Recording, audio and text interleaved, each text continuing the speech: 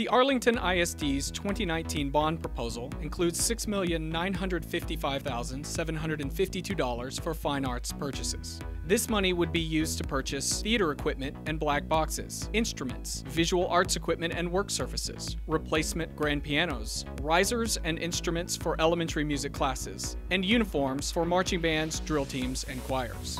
In addition to these equipment purchases, the bond also includes facility improvements specific to the fine arts. The facilities portion of the bond includes renovation of fine arts spaces on several secondary campuses. This includes rehearsal halls, visual arts rooms, and the final phase of renovations to our high school auditoriums. The transportation portion of Bond 2019 also includes a semi-trailer for each marching band at our traditional high schools. The trailers would be branded to the school, and the inside of each trailer would be customized for proper transport of instruments and equipment for travel to football games and marching band competitions. The tractor rigs to pull these trailers would be leased.